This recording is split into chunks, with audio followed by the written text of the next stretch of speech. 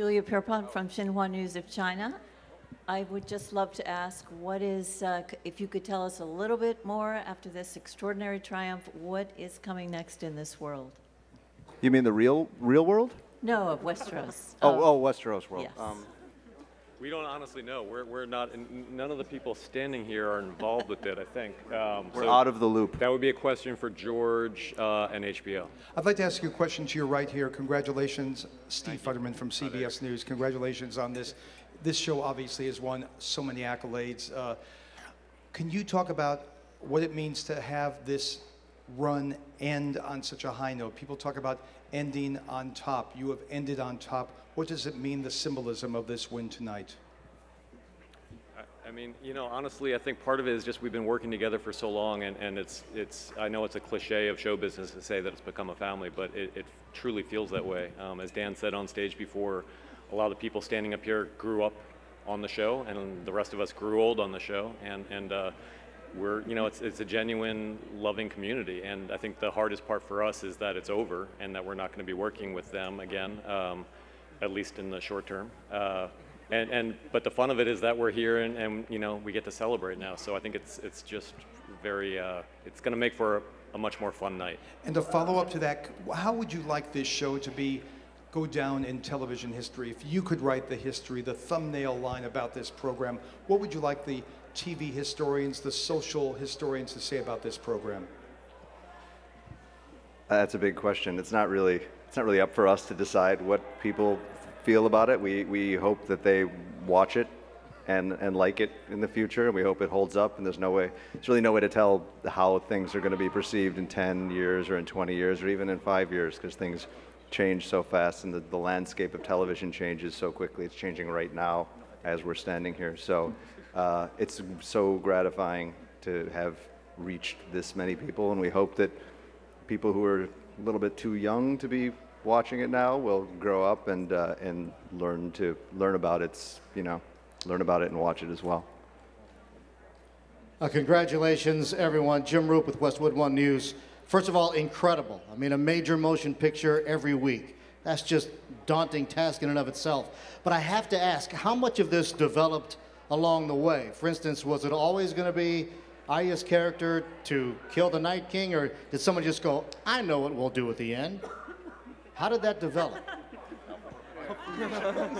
What? What'd you say? What? What? Was it? Oh. It's a, uh, what was it? Even I forgot the question. Uh, how much of the show developed along the way, and was it always going to be Arya's character to kill the Night King? Did that come up at? Was that always from the from the beginning of the show? Was that going to be the end? I, I mean, I, I, I think so. Yeah. Yeah, I was that always it's just like- I've, I don't, I don't know. I'm wilting. I mean, Well, oh, no, no, I know hold on, George that's already wrote the happened. thing, but you guys, you had your creative license with it. Is that how it worked? Yeah, it, it honestly just depends on the specifics. Like it was always going to be Bran uh, as the king at the end. With some of the other choices, it came up along the way. But I think no one can beat Alfie's answer. So I think Thank all, all further much. questions should go to Alfie. Thank you, thank you very much. Hi, for Peter, for Peter Dinklage, a question. Here, Jeannie Wolf, right here. There you are. Your speech was very emotional. Is it what? A complete blur. What wasn't to us? Mic is on. Oh, yeah. Oh, there it goes. Hey. It wasn't a blur to us. Strangers in the night. what All is right, that? Keep going. Keep going. This is all a blur. yeah. Yeah. Um, what was your question? What did I say? I, I have no idea. No. Well, you know, will this character ever really leave you? Will this character be part of everything you do from here I've on? seen a doctor about getting him out of me, and they can't do anything. Uh, And the doctor says it's a blur. the doctor said, You're, "Yeah, it's hopeless." Um, no, I, but I think that's no. Yeah, That- it was like I said, about 10 years since I met Dave and Dan and Carolyn Strauss in LA, and then to right here. Um, uh, you know, you can't shake that very easily, but um, more importantly, you can't really want to. You don't want to shake it, nor do you want to shake um, any of these people. Maybe Conleth, but um, uh, no, truly, it's, it was a it was a whole it was 10 years of my life. Um, a lot of us had children. Um, a lot of us were children when we started, um, and now are beautiful grown-ups, um, like Conleth. Uh, so yes, it was. It, it's going to be very hard to shake. Yes. Congratulations, anyhow. Thanks. To all of you. Hi, back here. Uh, Kim Renfro with Insider. Mr. Benioff and uh, Weiss, I was wondering, you guys had to be so tight-lipped about secrets and spoilers for the show for so long. Was there one fan theory that amused you the most when you heard it and you, you know, you couldn't comment on it, but were you guys behind doors? Uh, Commander Mark Kelly, commander of the space shuttle, uh, had a fan theory that amused us because it was about 90% right. And so he was the one person who we had to actually put on a straight face and nod in such a way that made him believe he was wrong because he, he nailed about 90% of it. So that was the one that, that really stands out in my mind. Do you remember what it was that he, he said? He got most of the ending.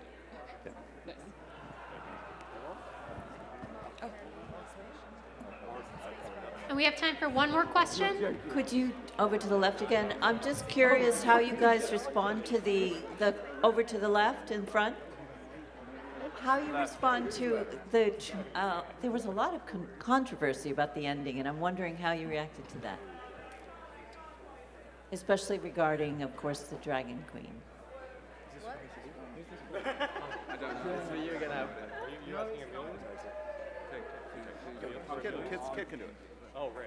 I'll take this one. What was it? Controversy.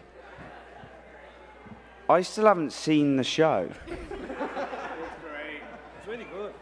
So I, that's how I dealt with that controversy. I haven't seen the final season, but I know what it took to shoot it, and it was it was hard, and everyone put all of their love and effort into it, and controversy. I think for us,